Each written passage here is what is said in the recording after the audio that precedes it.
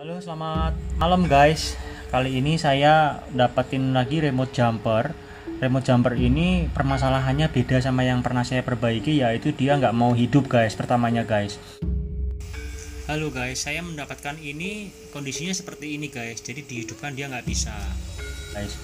Karena uh, modnya firmware di dalam sini itu ketumpuk guys. Jadi seperti sistemnya ini itu kayak komputer tapi lupa kalau dia punya hard disk padahal hard disk sudah ada Windowsnya nah ini Alhamdulillah udah saya repair kemudian bisa nyala kembali seperti ini guys Welcome to OpenTX.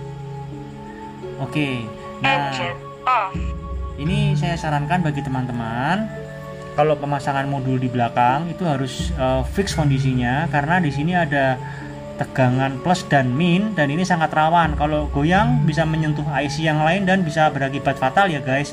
Jadi kalau memang uh, teman-teman mau menggunakan modul misalnya seperti modul tambahan long range yang seperti ini tolong diusahakan supaya uh, ininya menempel sempurna di belakang jadi koneksi tidak goyang. Oke guys sekian tips-tips dari saya. Terima